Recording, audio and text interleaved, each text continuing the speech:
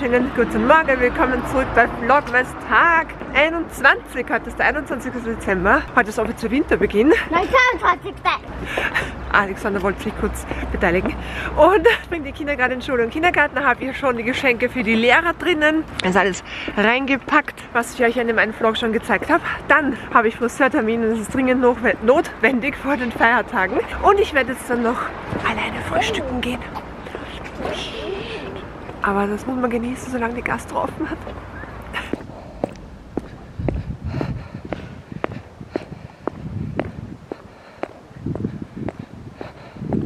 Ich habe jetzt kurz in dieser Glitzerflitzerkugel Platz genommen, weil warum nicht? Wann hat man schon die Möglichkeit, dass man so ein schönes Setting hat? Neuester Stand. Ich habe gestern nicht gefilmt am Montag. Ich wollte, aber ich habe ehrlich gesagt keinen guten Tag gehabt. Ich bin den ganzen Tag im Jogger im Haus gewesen, habe ur viel Arbeit erledigt. Heute aber Friseurtermin und generell wieder ein bisschen ähm, war gen äh, generell wieder ein bisschen, wie heißt das? Jetzt wurde ich aus dem Konzept gebracht. Was soll ich jetzt sagen? Vielleicht ein bisschen peinlich, wenn man da sitzt in dieser Kugel und plaudert in die Kamera ein bisschen Pepper Day. Also Haare jetzt machen, heute mal Nägel machen, Füße machen, heute auch noch die letzten Besorgungen. Mir ist eingefallen, ich hätte noch gern Blumen für den Weihnachtstisch und noch ein paar andere Sachen, die ich gerne heute besorgen möchte. Ich brauche auch noch ein Geschenk, das fehlt mir noch und das werde ich dann heute also erledigen. Aber jetzt gehe ich eben mal alleine frühstücken. Macht man eigentlich selten, aber wieso nicht? Die Gastronomie hat offen, ich habe Zeit, mein ist erst um halb zehn, jetzt ist es acht und dass ich mein gutes Frühstück schmecken.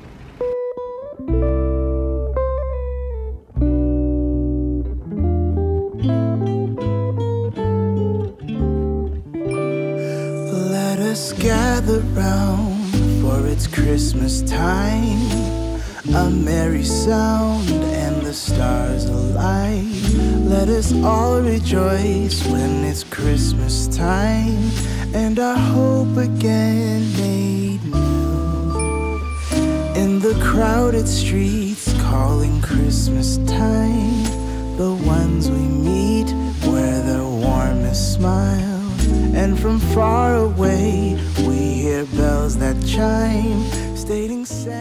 Und nach dem Essen Zähneputzen nicht vergessen. Ich glaube, das wird für mich sehr, sehr lange Zeit sehr komisch sein, dass ich nach dem Frühstück, wenn ich in einem Restaurant bin, aufs Klo gehe und Mund- und Schienen putze und spüle. Aber das ist jetzt einfach mein täglicher Begleiter. Einmal Schiene nachputzen, einmal Zähne putzen. Und dann geht's endlich zum Friseur.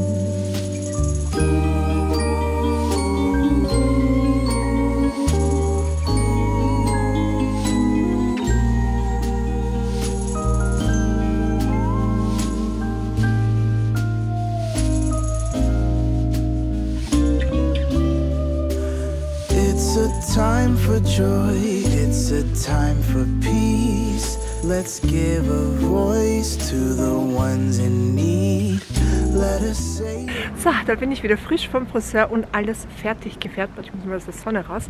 Wir haben den gleichen Farbton wie immer nachgefärbt, nichts geschnitten, weil ich war ja erst Ende November und da wurden ein paar Zentimeter geschnitten. Ich mag sie gerne. Es ist ein Mix aus Vella Colestron 88, 43, 77, 34 und Marche Kontrast, so viel ich weiß. Ich habe mir auch diese Jacke gekauft, weil ich auf der Suche bin nach einer Daunenjacke, die nicht noch mich noch größer macht und die ist echt schön geschnitten. Ja, aber ich habe vom Christkind auch einen Mantel gewünscht. Den zeige ich euch dann, wenn ich ihn bekomme. Ich habe ihn mir ja, gewünscht, quasi ausgesucht. Denn ich zeige euch jetzt, warum ich echt einen richtig schönen schwarzen Mantel möchte. Ich habe hier nämlich einen Mantel von H&M an und vielleicht seht ihr es hier ganz gut. Dieser Mantel ist über und über abgefusselt. Das zieht sich einfach über den ganzen Mantel hinweg und ja, das ist einfach, weil es halt jetzt doch eher ein günstiger Stoff ist. Und ich habe mir einen Mantel von Marco Polo ausgesucht. Die Marke wäre jetzt komplett egal gewesen. Aber wichtiger bei diesem Mantel ist, dass es ein Bouclé-Stoff ist. Das heißt, es ist ein bisschen wie so ein Tweed, so ähnlich. Uh, oh mein Gott, da wurde frisch asphaltiert. Ah! Und das sollte das dann nicht fuseln. Ich hoffe, dass es ist. Aber den seht ihr dann bestimmt nach Weihnachten. Ich habe hier, wie gesagt, jetzt meinen Einkauf und auch noch unser Mittagessen. Es gibt Asianudeln und jetzt hole ich die Zwerge schon von der Schule ab. So schnell vergeht ein Vormittag. so, nach dem Mittagessen äh, plaudere ich kurz mit euch. Bitte ignoriert das Wäschechaos. Ich muss die Wäsche dann verräumen. Mag ich überhaupt nicht. Ich habe aber was super Süßes bekommen. Das muss ich euch schnell zeigen. Ich arbeite mit Nivea zusammen und habe von Nivea meine eigene Nivea-Creme bekommen. Falls ihr euch erinnern könnt, das ist das Foto vom Adventkranz. Jetzt habe ich eine Nivea-Creme. Und dann ist endlich mein Kies-Adventkalender angekommen. Ja, am 21. Dezember habe ich meinen Kies-Adventkalender bekommen. Ein bisschen spät. Bestellt habe ich ihn am 6. Dezember, weil ich mir dachte, hey, ich hätte ihn irgendwie noch sehr gerne, damit ich mal die Kies-Produkte testen kann. Er ist jetzt da. Ich kann im Prinzip alles gleich auf einmal aufmachen stört aber eh nicht.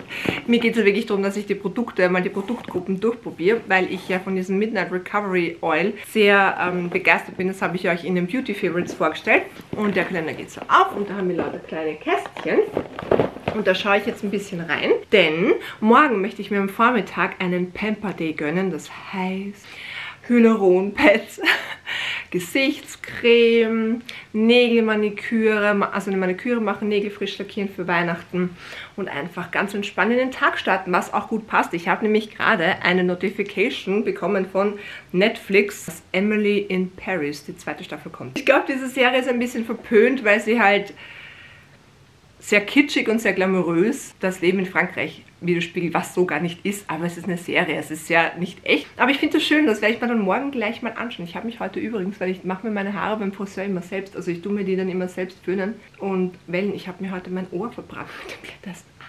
Kommen wir mal wieder lieber zum Kies-Adventkalender. Ich würde sagen, ich mache jetzt einfach Kästchen 1 bis 6 mit euch schnell auf und schaue da mal rein. Darauf habe ich nämlich schon gehofft, dass es das Creamy Eye Treatment with Avocado. Gerade bei den Augen merke ich einfach in letzter Zeit, die sind angeschwollen und da brauche ich echt was, um das ein bisschen mehr zu pflegen. Da haben wir dieses Avocado Treatment. Das ist auf jeden Fall mal gut. Aber wie merke ich mir das? Dahinter steht drauf, wie das Ganze funktioniert. Und das ist eh klar. Einfach drauf. Wow. So, dann Nummer zwei Nummer 2 ist das Hydro Plumping Serum Concentrate. Das soll man einen Pumper in die Hand geben und, na gut, da, das ist so ein kleines Pröbchen, da kann ich nicht viel pumpen. Ich muss auch ganz ehrlich sagen, ich bin ein bisschen enttäuscht. Ich habe gestern schon ein bisschen reingeschaut. Ich dachte mir nicht, dass es solche Mini-Proben sind in einem Adventkalender, der jetzt 100 Euro gekostet hat. Ich glaube, wenn man ihn vor dem 1. Dezember bestellt, ist er sogar teurer. Ich weiß nicht, ob der jetzt ein bisschen günstiger war, aber ich finde, das ist halt schon sehr klein. Wisst ihr, was ich meine? Weil der Lush Adventkalender, da sind die großen Produkte drin. Ich dachte mir auch, dass dieser Kalender größer ist und nicht A5-Format hat. Ich dachte, der, der ist mindestens, oder ist es überhaupt A4? Ein bisschen kleiner als A4. Ich hätte echt gedacht, dass der, dass da größere Proben drin sind. Aber wir schauen mal weiter, was es noch gibt. Man mit solchen kleinen Augencreme, damit kommt man lange aus. Also das hm, das riecht gut. Mit solchen komme ich sehr lange aus, also das passt voll und ganz. Aber ich hätte mir halt gedacht, dass das ein bisschen größer ist. Das würde ich jetzt wahrscheinlich interessieren, wenn ich das ganze Ding da aufmache. Ich schaue mal rein und zeige euch dann, was ich cool finde. Ich glaube so ist es ganz gut. So macht man das.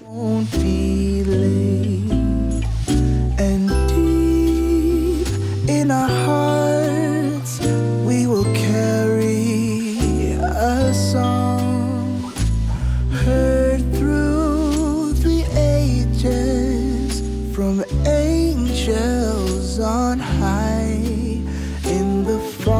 snow all the Christmas lights bring a special glow on a special night so, ich habe jetzt alle Kästen aufgemacht, bis auf 21, 22, 23, 24. Also die mache ich dann auf. Und ich dachte mir, ich drehe das einfach um. Dann habe ich hier noch ein paar Infos stehen zu den einzelnen Produkten. Das kann ich mir dann noch ein bisschen länger aufheben, bis ich damit vertraut bin. Ich bin schon mal versöhnt, weil Gott sei Dank es sind auch große Packungen drinnen. Ich wäre nämlich echt, glaube ich, ein bisschen verärgert gewesen, wenn ich so viel Geld ausgebe dafür, dass dann nur so Mini-Sachen drinnen sind. Einige Produkte finde ich schon mal ziemlich cool, unter anderem den Lip Balm. Lip Balm kann ich immer brauchen, weil ich gerade so trockene Lippen habe. Auch der Facial Cleanser, also ich werde morgen dann mit dem Cleanser, mit ähm, dem Toner, mit dem Face Wash. Einmal alles richtig gut pflegen. Dann kommt eine Maske drauf. Eine Deep Pore Cleansing Mask. Die werde ich auftragen. Damit einmal gut Gesichtspflege. Und eine Handcreme ist auch dabei, die werde ich auch gleich ausprobieren. Dann ist sogar ein Shampoo dabei. Für meinen Mann ist auch was dabei. Ich meine, der braucht das nicht wirklich, aber ich werde es mir mal hinstellen. Vielleicht möchte er ja auch ein Energizing Moisturizer Treatment haben. Schadet auch nicht. Ist zwar ein Jahr jünger als ich, mein Mann, aber trotzdem. Dann haben wir auch so ein Herbal Extract Toner, was ich lustig finde, weil da schwimmt wirklich Kräutergemüse-Ding drin rum. Auch eine Bodycreme ist drinnen. Ja, dieses Treatment werde ich auch morgen benutzen. Also es sind schon einige Sachen dabei. Es fehlen ja noch vier Kästchen. Ich werde morgen ein bisschen durchprobieren. Werde ich da ein bisschen mitnehmen bei meinem Pamper Day. Jetzt werde ich dafür mal einen Platz suchen gar nicht daran gedacht, dass ich voll viel Kleinkram habe und eigentlich im Bad auch mal wieder aussortieren sollte. Aber das werde ich mir fürs neue Jahr aufheben. Da werden wir das Badezimmer mal wieder deklattern und generell wieder ein bisschen ausmisten. Ich finde, das ist immer was Gutes, was man im Januar, Februar machen kann. So, danke fürs Zuhören. Ich melde mich gleich wieder mit spannenderen Dingen. Hoffe ich. Hallo und willkommen zurück bei Vlogmas. Heute ist der 22. Dezember. Sollen wir noch schlafen, dann ist Weihnachten. Ich war jetzt gerade einkaufen, habe ein gutes Frühstück geholt. Ah, da scheint die Sonne. Habe ein gutes Frühstück geholt und werde mir, wie gestern angesprochen, hier einen Spa-Vormittag gönnen. Das heißt, Gesichtsmaske, Augenpads, Peeling, ein Croissant zum Frühstück, ein weiches Ei und ein gutes Schinkenbrötchen, dazu Kaffee und Orangensaft und Emily in Paris, die erste Folge, zweite Staffel. Und da muss ich ein bisschen was arbeiten. Aber heute so ein bisschen ein Slow Morning, bevor ja dann auch die Ferien beginnen, denn morgen letzter Schultag, dann zwei Wochen Ferien und dann die Kinder zwei Wochen zu Hause. Deshalb genieße ich jetzt heute den Vormittag noch für mich. Ich bin schon zu Hause und habe hier gestern ein bisschen aufgeräumt in meinem Schränkchen und hier sind jetzt die ganzen Produkte aus dem Kies Adventkalender drinnen. Ich werde jetzt mal den Cleanser verwenden, dann werde ich den Toner verwenden, das Gesicht schon sauber, dass das Gesicht schon sauber ist. Dann werde ich diese Maske nutzen und dann schauen wir mal weiter, wie es im Programm geht. Ich habe mir übrigens überlegt, ich hätte gern nicht nur diesen Schrank, sondern ich hätte gern da unten, wo jetzt dieses Wäschechaos ist, irgendein Schränkchen. Irgend so ein Kastelchen, weil wir haben da eigentlich recht gut Platz da drüben ist nämlich ein bisschen enger alles. Das sind auch die Kinder, Badesachen, Ersatzhandtücher, Haarpflegeprodukte, weitere äh, ja, Pflegeprodukte, Hauptpflege, wo wir dann auch diese Sachen, also diese Pads verwenden, meine Nivea-Sachen. Hier oben ist das ganze Laschbadezeug. Hier haben wir auch Duschsachen. Und ja, also ich hätte irgendwie gerne da drüben ein Schränkchen. Mal schauen, was ich finde. Der Spiegel wird übrigens morgen geputzt. Hausputz ist erst morgen dran. Ich habe mir aber schon mal meine Haare hochgegeben und äh, mit einem Haarreif aus dem Gesicht. Ich würde mal sagen, ich starte jetzt mit diesem Cleanser.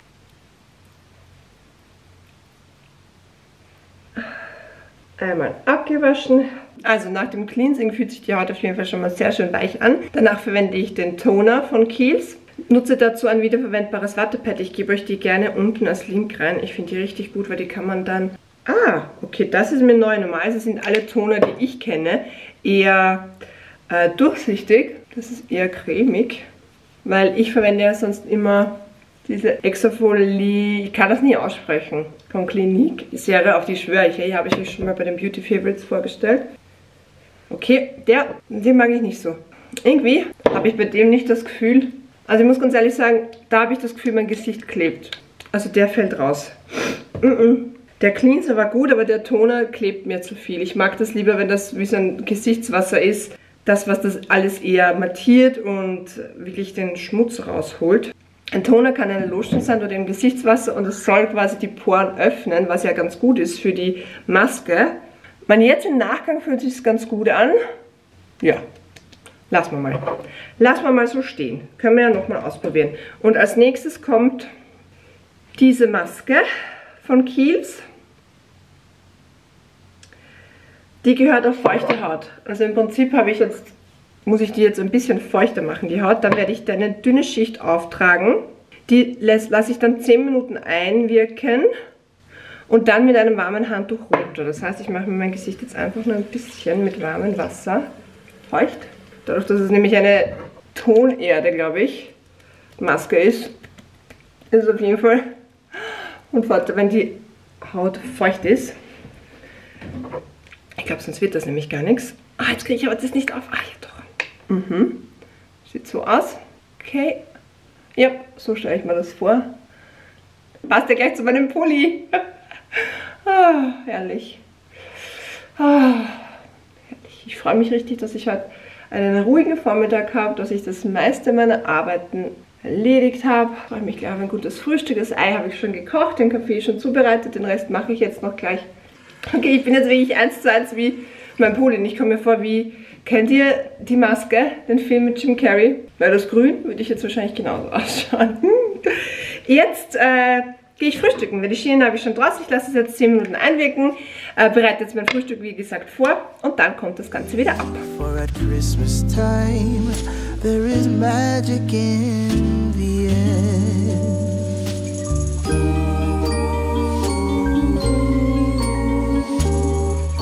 Jetzt mal ein Stückchen Kaffee.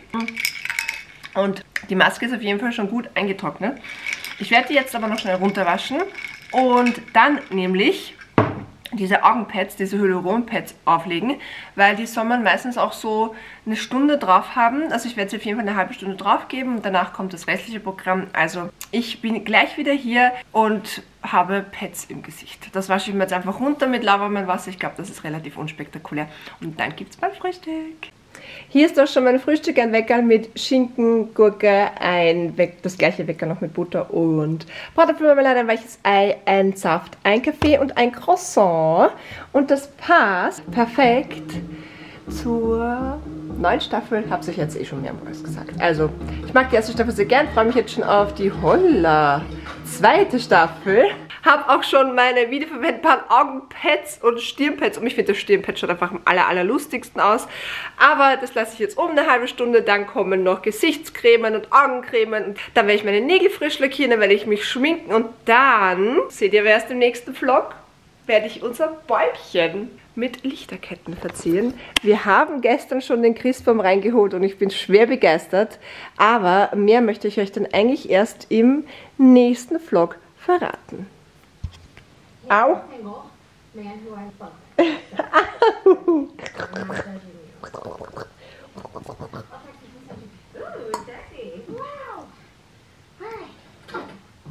So, da bin ich wieder und ich habe jetzt einige Stunden damit verbracht, ähm, den Christbaum herzurichten. Das hat jetzt etwas länger gedauert, weil er mir fast umgefallen wäre, aber dazu seht ihr dann mehr im Vlog morgen. Am 23. Dezember kommt der vorletzte Vlog online. Dann kommt noch einer über Weihnachten, also 24, 25, 26. Dezember packe ich zusammen.